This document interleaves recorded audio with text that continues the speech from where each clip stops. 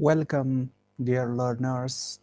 Today we are going to discuss about the plastic waste management. So the term plastic means material which contains as an essential ingredient of high polymer such as polythene, tetraphthalate, high density polythene vinyl, low density polyethylene, uh, polyethylene, polypropylene, and many kind of materials.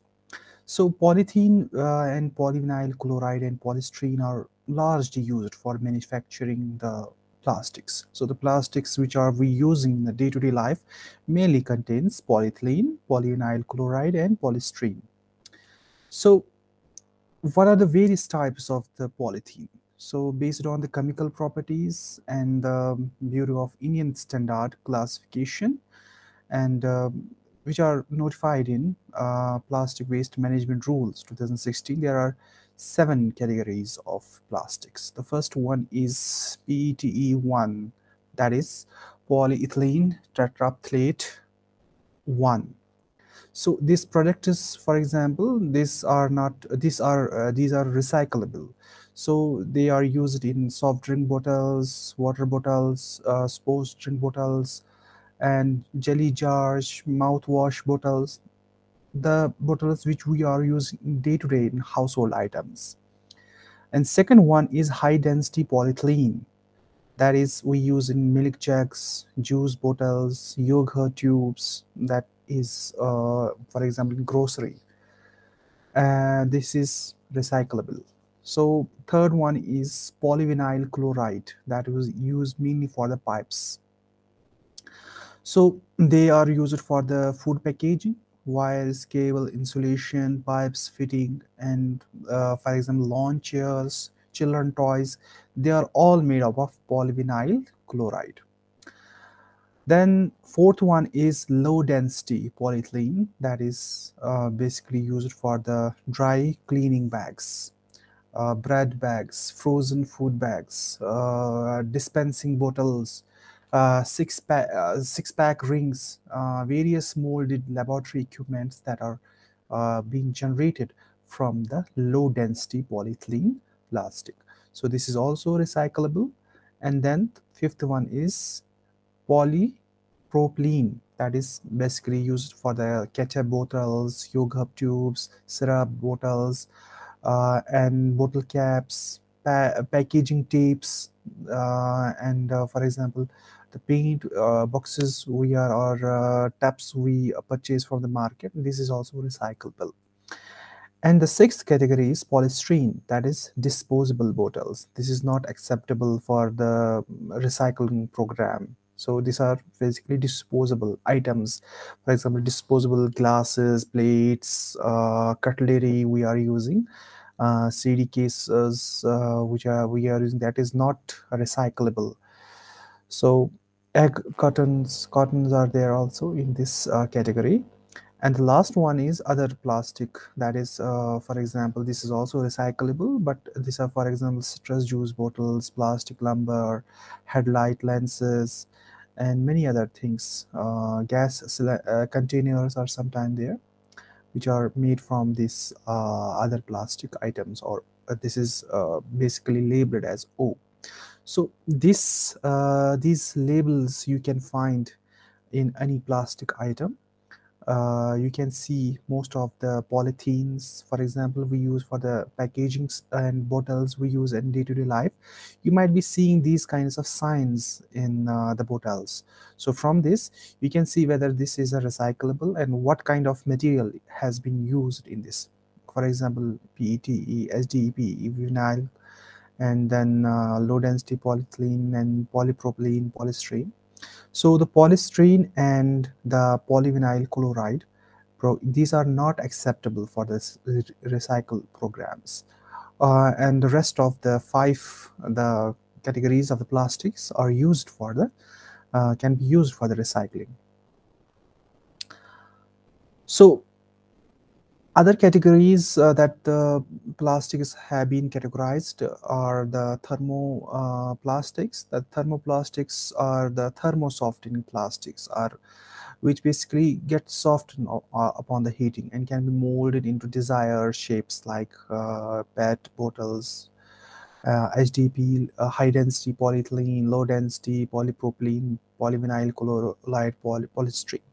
So these plastics can be molded in different kind of items, uh, desired items um, upon the heating.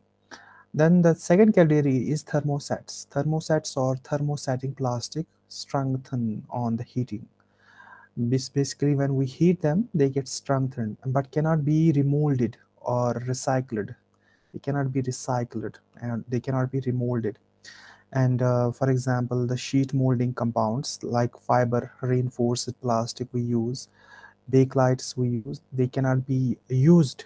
Uh, I mean, they cannot be reused or we cannot mold them on uh, into desired items uh, upon the heating. So there are two types on the basis of the heating get uh, uh their quality to or their uh, tendency uh, upon the heating, thermoplastics and thermosets. And upon the daily uses where we use in plastic, we use plastic for example in our daily grocery items whether we purchase milk cans whether we purchase yogurt we purchase ice cream boxes we purchase uh, what we call uh, the curd many items that we purchase and also the packaging material of different items uh, and uh, commonly we use the polythene uh, different colored polythene like blue black uh, orange pink whatever. It uh, basically depends upon the which kind of uh, metal is used in the as a manufacturing process. So we are using this as in carry bags. Then and these are the packaging for example uh, the uh, electronic equipments we purchase like printers like mobile phones. They also uh, are wrapped into the bubble cases. And then the food items that are the also disposable then toys toy manufacturing in day-to-day -day life items like the tubs jars and um, mugs glasses and then pipes fitting pipes plumber pipes we are using the plastic. So in each item there are different kind of plastics. That plastics we have discussed earlier. There are seven types. So every item have different kind of plastics. So it depends upon what kind of uh, the thing we have to uh, manufacture. So some other important facts about the plastic. Plastics are made from oil with a highly polluting product production process. Plastics just do not dissolve, they break down into microplastic that circulate into the environment and single water bottle can take up to 1000 years to break down. So basically when uh, there is a polythene uh, and we bury it uh, under the soil, even after 100 years, we can still find that uh, the polythene is still intact, that is not degraded. So the, it takes hundreds, and thousands of years, it doesn't get dissolved in water. So the, in Asia, the world's leader in plastic pollution, the Philippines alone dump around 1 billion pounds of plastic into the oceans. So this is one of the emerging kind of plastic pollution that is the pollution in the oceans because of humankind. So the Philippines dump 1 million pounds of plastic into the oceans. And this is over uh, 1 lakh and 18,000 trucks worth and in 13, uh, 30 years there is likely to be more plastic in our oceans than our fishes. So the, in oceans there are various programs that are now currently going on that catch the ocean pollution or catch the ocean uh, uh, plastic. They are catching the plastic from the oceans and then they are recycling it. So this is one of the emerging problem besides the terrestrial problem of plastic pollution. And 83% of the drinking water contains plastic it is basically the plastic which is not visible even the phytoplanktons small single uh, celled uh, plants or uh, single cellular photosynthetic plants they can also take uh, this microplastic. This is how minute is this plastic. So in our day-to-day -day life um, we take plastic or consume plastic in our food items or drinking water. And studies show that the consuming plastic could lead to cancer effects on hormonal levels and heart damage plastic have been found in blood even in newborn babies. This is the grave situation. And over 6,600 marine species are uh, affected are affected by plastics. Nearly 4, uh, 45,000 marine animals have been ingested uh, plastics and 80% were injured or killed because of the hunger. When they consume the plastic, definitely uh, this plastic will not get digested and at the end they will get uh, they die because of the hunger. Plastic can be uh, pierce an, uh, animals for the inside cause starvation, entanglement, loss of uh, body parts, and suffocation. Sometimes, if there is a choking of uh, the windpipe because of the plastic item, something which get inside the mouth of the animal. So sometimes the body parts get entangled into the plastic kind of thing. So this is the basically uh, in the aquatic kind of situation.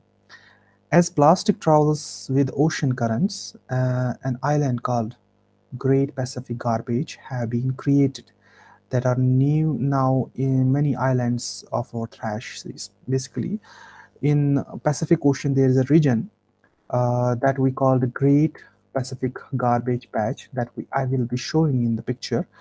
Uh, whatever the garbage basically in the Asia that dumps into the gets dumped ocean, it somehow finds its way in that area and most of the islands and in there gets uh, converted into the garbage dumps so some uh, study showing that uh, the country waste mismanagement rate like the china and hong kong has mismanaged rate around 74 percent india has 85 percent. So in this uh, category uh, india is uh, only after vietnam 85% of the mismanagement of this plastic pollution. And the imports uh, of the plastic are also very high as compared to when we say after the China and Hong Kong. 0.9 billion million metric tons have been imported from 2010 to 18 by India and the number of uh, ship containers that carry these uh, plastics is also quite high in China and Hong Kong. It depends upon the how much the uh, this uh, plastic waste is imported. So india's uh, plastic uh, the size of industry is around uh, 1 lakh and 10000 crore and the number of company and units which work on the plastic are around 30000 and plastic consumption is around 30 metric tons per year and waste generation is 9 metric tons per year means around only 6 50% uh, of the plastic is recycled. And when we talk about the different states, then the state of Maharashtra has highest generation of the plastic waste. So after that, there is Gujarat and Jammu and Kashmir is very uh, low as compared to other states of or union territories of India. And uh, According to the report, per capita per day production will increase by 0.7 kgs uh, in 2050. So current rate, uh, which the current rate of generation, uh, it get increased by 0.7 kgs in, by 2050. And various uh, factors on which the characteristics of waste depends upon, for example, are the food habits, tractions, lifestyle, and climate and India's plastic consumption will cross around 20 million metric tons by 2022. So before going further, I want to show you the Great Pacific Garbage Patch. This is the Great Pacific Garbage Patch in which we can see how much plastic have been recovered from a whale in this area. So this is very grave situation that animals are consuming this plastic uh, like they are consuming the food items. So these are not digested and definitely they die of the hunger. So according to the reports, uh, in uh, year 2017 and 18 by Pollution Control Board has been estimated that uh, India generated around 9.4 million tons uh, per annum plastic waste, which is around 26,000 tons of waste per day. And uh, 5.6 million, uh, million tons per uh, annum plastic waste is recycled means only 60% of this plastic is uh, recycled and left is i mean uncontrolled or that is spread here and there. So out of 60% recycled plastic 70% is at registered facilities out of this 60% and 20% is recycled by unorganized sector and 10% of the plastic is recycled at home. Like we are using for example the paint we purchase from the market and we use later on for that as a water carrying bucket or something else or watering the um, plants. While these state, uh, stats are 38% higher than the global average because global average is only 28% uh, 20% and Indian average is around 30% and there is no comprehensive method of uh, uh, placing plastic management. Additionally, there is a constant increase in the plastic waste generation. One of the major reasons for this is 50% of the plastic is discarded as waste after single use. And this is uh, the very serious issue.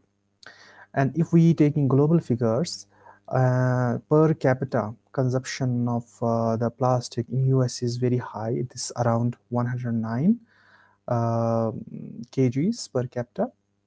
And uh, in India, it is around 11 and global average is 28. So in Jammu and Kashmir, waste generation is around 74,826 metric tons. This data is around of 2021 and this metric tons uh, 74,826 metric tons is uh, per annum with monthly average around 6,200 metric tons. So in J&K alone uh, which I was showing in earlier figure that was around 60,000 uh, but the latest data is around 74,826 metric tons per annum. And there is uh, the graph which shows an increased trend of the plastic production, particularly in Asia, like uh, the China uh, uh, country and Russia, and second number is uh, America and then Europe. So as I was saying, only 60% uh, and 70%, 60% uh, of plastic is recycled and 70% of the plastic packaging products are converted into plastic waste in short span because uh, these are discarded uh, and generally in the garbage pickers they pick and then it gets recycled in short duration. The recycling of the virgin plastic material can be done in two to three times. If a virgin plastic is recycled then it can be recycled two to three times because of every recycled plastic material uh, deteriorates due to thermal pressure and its lifespan is reduced. So the virgin plastic is very strong as compared to recycled plastic so hence recycling is not a permanent and safe solution for the plastic waste. So it has been observed that the disposal of plastic waste is a serious concern due to improper collection and segregation. So we should go for the proper segregation and collection of the plastic waste. So what are the various sources from which most of the plastic is generated? Like 11.9% uh, are generated uh, from the bottle, caps, lids, chips uh, wrappers 18.6% pet bottles supermarket retails straws garbage bags packaging food bags and uh, fruit juice bottles water soft bottles. There are n number of uh, the uh, this this is very important here to see the cigarette lighters are also uh, showing a significant uh, number in the plastic waste production so the highest number is chips and confectionery bags. So uh, 18 and 11%. So we should be more focused on these three items. Chips, uh, packets, bottles, and PET bottles. So what are the environmental impacts of this uh, plastic pollution? So first plastic pollution, it impacts the human body like it creates headache, throat coughing, lungs. As, as I said earlier, it can cause cancer also, uh, liver dysfunction. Uh, it creates the soil pollution, water pollution, aquatic pollution, and uh, it leads the soil, uh, I mean, um, unsuitable for the agriculture activities. and also the plants uh, also the animals they consume the plastic and uh, later on they are involved in serious diseases so the first impact of uh, the ground uh, of this plastic pollution is a ground and soil pollution. Plastic is a material made of uh, that lasts forever due to the same chemical composition. Plastic cannot be degraded. As you've seen, it is uh, available for hundreds of days into the soil. And uh, when it is buried into landfill, plastic gets untreated. So the toxic substance that can drain into the groundwater and that later on can be used for the agriculture irrigation and that chemicals can harm our plants and later on they can uh, find their way into the food chain. So they can find their ways into the lakes and rivers also or seeping the plastic and uh, the soil and they can result in microplastic in the soil. So when this plastic get uh, i mean uh, converted into the small pieces and uh, this then uh, finds its way in the food chain as a microplastic. Pollution in the oceans because of the plastic, increased uh, presence of plastic in the ocean surface has resulted more serious problems uh, because of most of the plastic uh, is uh, dumped into the oceans for the years. And it leads dropping the oceans oxygen level, severely affecting the survival of marine species and um, for example birds are consuming the plastic uh, just uh, thinking that it is a fish kind of thing. So later on it is not digested and they die because of the hunger. And dangerous for the human life uh, because burning of the plastic resulted in formation of glass fumes like halogens are released from the burning of the plastic. And they can cause the health problems like the cancer endometriosis, neurological damage, endocrine disruption, birth effect, uh, child development disorder, reproductive damage, image, uh, immune system damage, asthma, and many other things can, because of this plastic. So plastic waste uh, poses huge threat to marine ecology also. There are about 8 million tons of plastic waste entering oceans every day. So the total plastic in the ocean amount is around 150 million tons and uh, only plastic uh, packaging accounts for 62% of all items that have been rec uh, recovered from the coastal. What was I saying earlier that there is a coastal or ocean cleaning program in which the plastic present into the ocean is recovered. So most of the plastic recovered from the oceans is comprised of the plastic packaging materials. And in 2014 there was around 1 kg of plastic in ocean. Every 5 kg of fish and by 2050 there will be more plastic than fish. So 5 kg fishes and 1 kg of plastic. And uh, this number is going on increase day by day. So Indian uh, constitution has uh, implemented a rule that is called plastic waste management rule in 2016 for the management of the plastic wastes. So what are the salient features of this uh, plastic waste management rules? First, these rules should uh, these sh uh, rules shall apply to every waste generator, local body, gram panchayat, manufacturer, importer, producer, or brand owner. Carry bags made of uh, virgin or recycled plastic shall not be free than 50 that uh, should not be uh, less than 50 microns in thickness. It should be uh, of more thickness than 50 microns. The provision of thickness shall not be applicable to carry bags made by the compostable uh, plastics. Some plastic they are compostable so their guidelines are mentioned by IS and ISO 7 uh, 17088. So the waste generators include institutional generators. Event organizer shall not litter the plastic waste, shall segregate the plastic waste and hand over to the authority agency and shall pay uh, user fee prescribed by the urban local bodies and spot fine in case of violation. So here the urban local bodies have been I mean, uh, uh, given powers that they can uh, find if someone uh, deliberately, uh, I mean, uh, create the pollution in case of plastic pollution.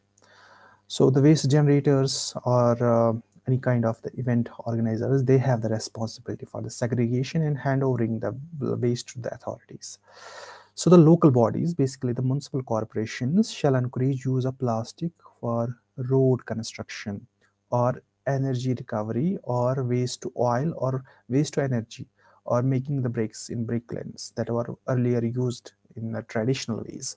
But that was creating quite uh, high amount of pollutants air pollutants. And it shall be uh, the responsible for the development and setting up of infrastructure for segregation collection storage and transportation process and disposable uh, disposal of plastic waste either on its own or by engaging agencies. And then gram panchayats either on its own or by engaging agencies shall set up or, or operationalize or coordinate for the waste management in rural areas. So in rural areas gram panchayats have been given the powers and in urban areas urban local bodies like municipal corporations have given the powers under this act so the producer importer bad owner need to work on the modalities of the waste collection. So waste collection segregation and then they have been uh, i mean the given the power, uh, guidelines. And the state pollution control board uh, shall be the authority to enforce the provision of plastic waste management rules. So the implementation is by the state pollution control board and concerned secretary in, in charge of the urban development of the state or union territory and concerned gram panchayat in rural areas of the state of union shall be the authority to enforce the provisions of plastic waste management rules. And district magistrate or deputy commissioner shall provide the assistance to uh, state pollution control boards in implementation on enforcing this kind of rules so how to manage the plastic waste? There are various strategies. The strategies are reduce, reuse, recycle and recover. So we will discuss these all, all these in detail. First is reduce by lowering the amount of waste production. We at the source level reduce the creation of the plastics and then reuse uh, whatever we have we should reuse that uh, till it can be I mean reusable then recycle using uh, the new products by thermo uh, by the by heating up molding different kinds of products or recovery uh, that is the energy from the plastic and the safe disposal that that is the landfills. So the reduce at the source level uh, it's basically discourage the use of plastics. And uh, then the 90 percent of plastic items in daily items will be uh, abundant like the plastics we use in pet bottles water bottles chip packets. I mean they all will be discarded. So the 90 percent of the problem of the plastic waste will be solved if we reduce or discourage the uh, use of uh, disposable plastics. And uh, second one is to minimize buyers buying water each year uh, close to 20 million uh, plastic bottles throwing the trash. Like we are using buying the plastic bottles juice bottles. We should minimize the use of such bottles. And definitely at the end we can reduce the i mean kind of uh, pollutants. Like we can use instead of that we can use the glass bottles um, that is uh, that are recyclable glass. Earlier we have uh, been seeing that we are having the cool drinks in the glass uh, kind of bottles. But over the period of time now we are only using the pet bottles. Then minimize use plastic cutlery uh, making a habit of using metal utensils instead of plastic culturally. Purchase items second-hand items. And then newer items have the lo lots of packaging kind of thing. Like we are buying the new smartphones. It has new packaging. If we buy old smartphone second hand definitely the packaging will be less. And support bag tax or ban support legislation by the laws which put taxes on the ban of single-use plastic. Like in Jammu and Kashmir also there is a ban on the single-use plastic. Uh, so such bans can um, uh, reduce the use of the uh, disposable items.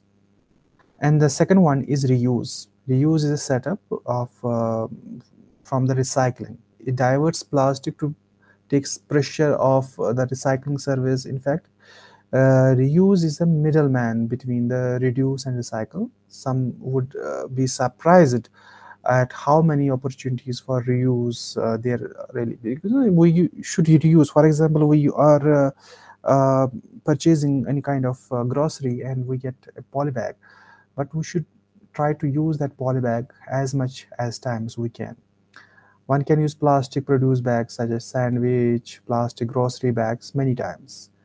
And uh, for instance since refillable plastic containers can be reused many times like we are purchasing the paint uh, in the plastic uh, buckets we can reuse that as many times as, as we can. And recycle recycle or reutilization of the waste plastic have been several advantages. First recycling reduce environmental pollution. Energy saving are around 40 to 100 uh, megajoules per kg and it is quite dependable upon the what type of the polymer like are we using high density polyethylene or polystyrene polyvinyl chloride depends upon that what kind of energy is available. Then it is economic benefits reduces damage on virgin polymer preferred to landslide generates employment uh, reduces uh, depletion in fossil fuel reserves and but there are quite other difficulties hard to separate from non-plastic. Basically uh, when we separate the or when uh, we go for the segregation of the metals we use magnet.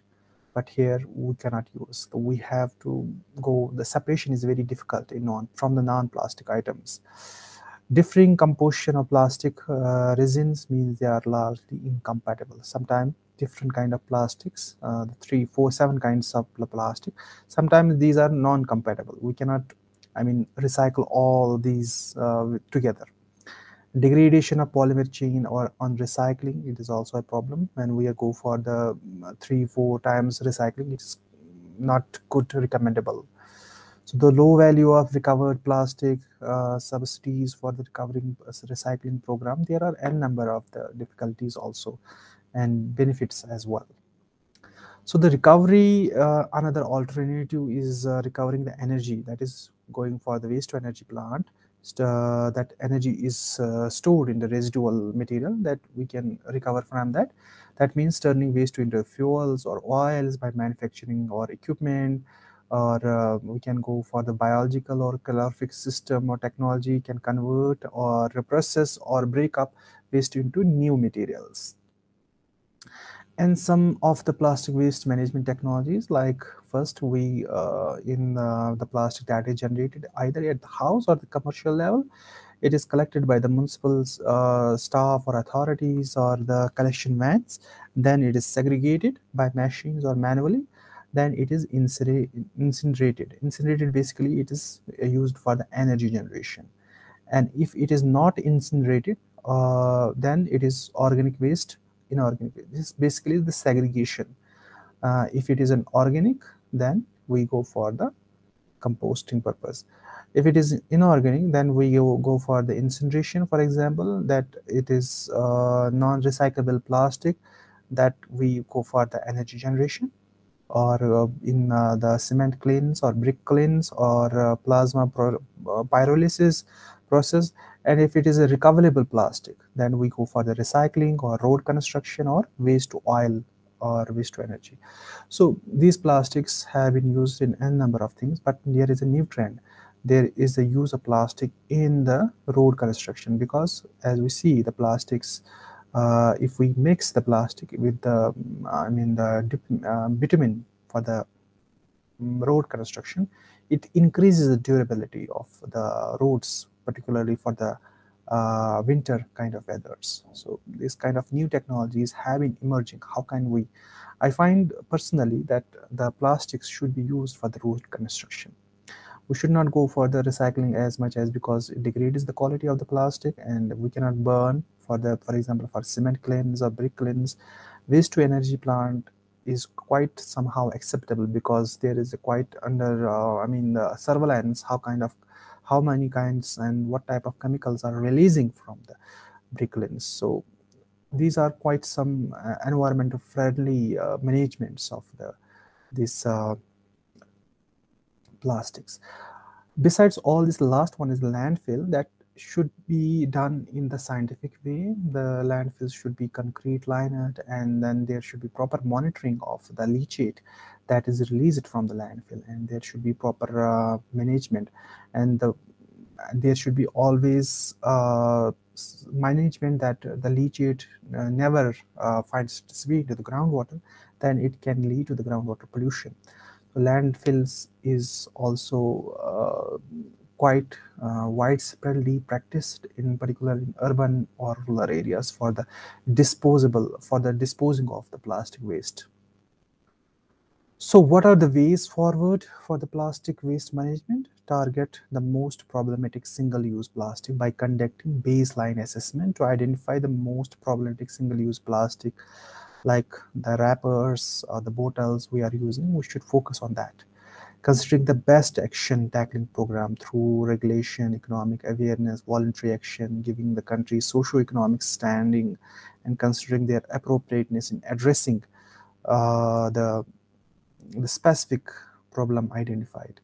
Then assessing the potential social, economic, and environmental impacts, positive as well as negative, when we are discussing various kinds of the uh, problems with the plastic identify and engage the key stakeholders like retail, retailers, consumers, industry representatives, local government, manufacturers, civil, and there are n number. I think each and every of us is the stakeholder in case of the plastic pollution. And raise the public awareness, um, basically uh, banning the uh, single-use plastic and then raising the awareness for the same is also a good kind of the intervention in management of the plastic pollution and promote alternative uh, before like uh, when we ban the certain, certain kind of plastic we should uh, bring an alternative. I, for example when we are um, when we are drinking the water and the pet bottles we should see the water is the alternative. There is an one technology where there is a water kind of balls. We need not to i mean uh, use a packaging material just uh, that is a kind of hydraulic hydraulic gel. When we put that in gel in mouth it gets converted into the water. That kind of technologies we can use for the water bottle uh, that water instead of water bottles we can go for the grocery with the uh, jute bags or the cloth bags and such kind of the alternative should be available. Or biodegradable packaging or uh, the carrying bag material provide incentives to the industry by introducing tax rebates. The industries which are involved in the plastic waste management should begin tax rebate and use revenue collected from the taxes on levies on single-use plastic uh, to maximize the public good, thereby supporting the environmental projects. So these taxes can be diverted for the environmental program or management of the uh, further management of the plastic waste and enforce the measures to effectively by making sure that there will be clear allocation of the roles and responsibilities. Like in case of gram panchayats it is in the rural areas and in urban areas it is the urban local bodies. And at last we monitor and adjust the chosen uh, measures if necessary and update the public uh, on progress. We should keep updating the progress. So in areas where the plastic generation is very high and um, there is also the uh, deficiency of the energy we can go for the creation or uh, installation of waste energy plant. And it can um, i mean manage the plastic as well as it can uh, create the energy. But the uh, one thing should be kept in mind that there is not degradation of the air quality in that area. So this was all about the plastic waste management. I hope you all enjoy. Thank you.